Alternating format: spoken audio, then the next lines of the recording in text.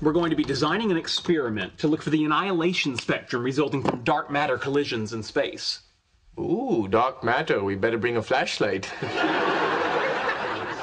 I was making a joke. I'm the boss.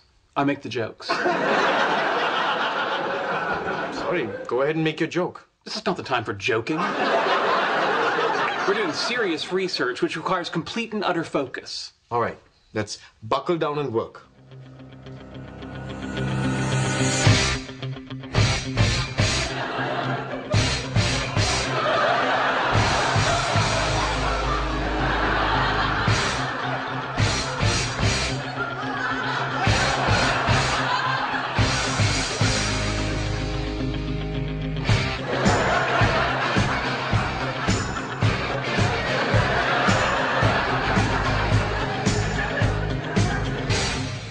Sheldon, What? I need an aspirin.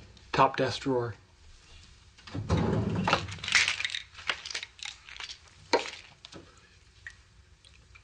Thank you. All right? Yes. Good.